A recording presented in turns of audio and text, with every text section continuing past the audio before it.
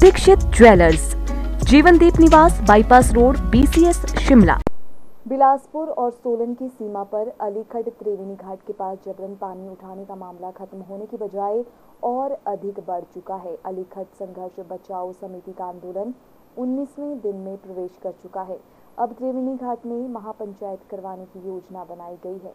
सोमवार को अलीखड़ बचाओ संघर्ष समिति के अध्यक्ष रजनीश शर्मा ने बिलासपुर में आयोजित पत्रकार वार्ता के दौरान बताया कि बिलासपुर या सोलन प्रशासन की ओर से किसी ने भी अभी तक इस मामले को लेकर अपनी प्रतिक्रिया नहीं दी है।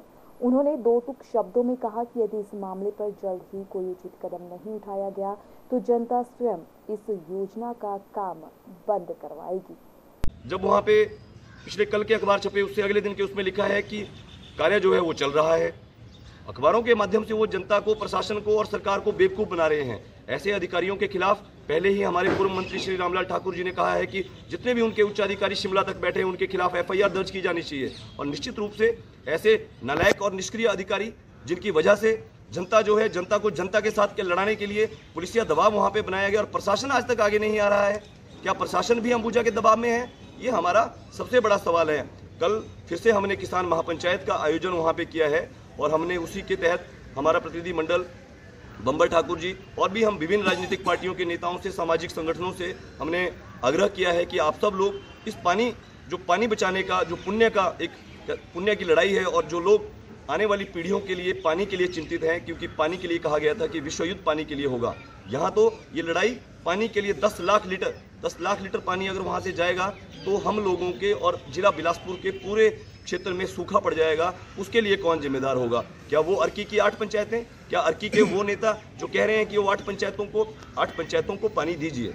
लेकिन पचास हज़ार लोगों को जहर मत दीजिए। एक ही बात हम बार बार मंच से कह रहे हैं बार बार हम वहाँ पे, इसलिए हड़ताल पे बैठे हैं। लेकिन हड़ताल को कुचलने के लिए पुलिस लगाना और वहाँ पे अवैध तरीके से कार्य करवाना, कोई भी मैं चेतावनी देना चाहता हूँ कि कोई भी अनैतिक कोई घटना, अगर वहाँ पर यह घटना घटती है, उसके लिए सोलन प्रशासन और बिलासपुर प्रशासन के वो अधिकारी जिम्मेवार होंगे, जिन्होंने आज तक इस विषय को गंभीरता से नहीं लिया और आपस में बातचीत नहीं की।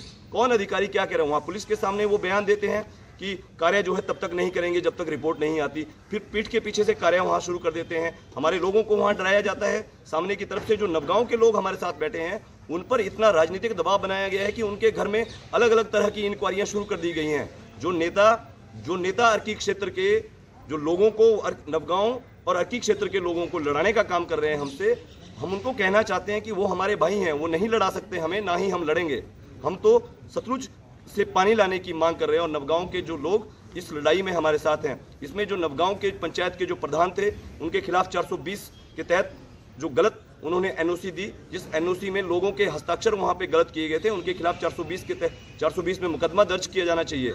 क्योंकि धोखाधड़ी के तहत उन्होंने अपनी पंचायत के लोगों को भरोसे में लेकर ये कार्य नहीं किया था, जिस वजह से ये लड़ाई सारी शुरू हुई है। और नवगांव के लोग जब इस लड़ाई में सतलुज से पानी लाने की मांग कर रहे हैं तो वो कह रहे हैं कि वो नवगांव के लोगों को पानी देंगे।